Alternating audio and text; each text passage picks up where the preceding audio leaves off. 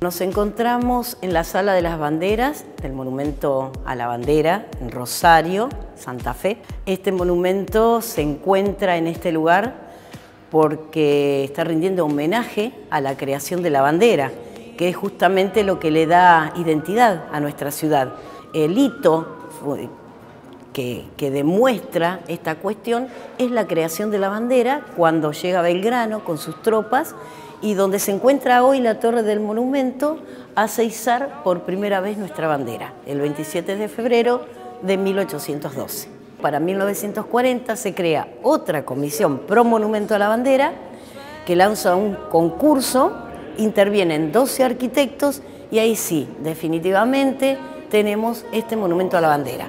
El lema Invicta o el proyecto Invicta de Ángel Guido y Alejandro Bustillo ganan el concurso hay otros arquitectos premiados, pero eh, lo que es Invicta, lo que es este monumento a la bandera, lo que es esta nave, gana el concurso.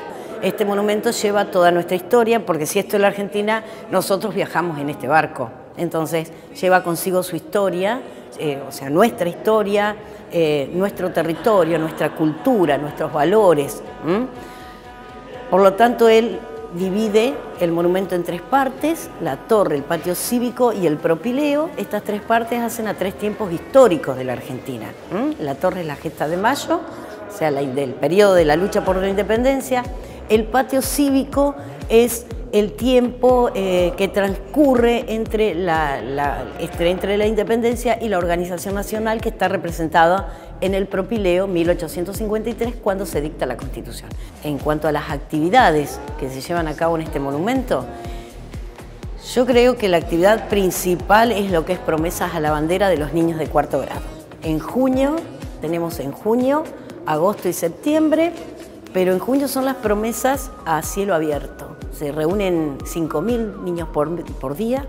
Este año pasaron 30.000 niños que juraron, prometieron, perdón, la bandera. Esta sala de, protocolar vendría a ser, se utiliza justamente para estas instancias. Aquí, para mm, eh, el Día de las Américas, se, hacen ofrendas, ofrendas florales, o también se iza la bandera y se hace una, un acto protocolar cada día que un país eh, declara o festeja su independencia. Y lo que estamos haciendo mucho son visitas guiadas, no solo para las escuelas, sino que en este momento estamos con unas guiadas, unas guiadas nocturnas que están dando muy buen resultados. Ya les he contado demasiado del Monumento a la Bandera, queda que ustedes lo vengan a visitar, este monumento ícono de la ciudad de Rosario, es decir, si vienen al monumento, pasen por Rosario, hay una oferta cultural muy amplia, pero el monumento los espera con los brazos abiertos, con guiadas nocturnas, con guiadas a los niños de las escuelas. Sábado y domingo también hay guardias de guía por la mañana y por la tarde, por lo tanto los esperamos. Muchas gracias. Jerárquicos Salud. Asociate llamando al 0800-555-4844. Jerárquicos Salud. Más de 20 años brindando servicios de salud.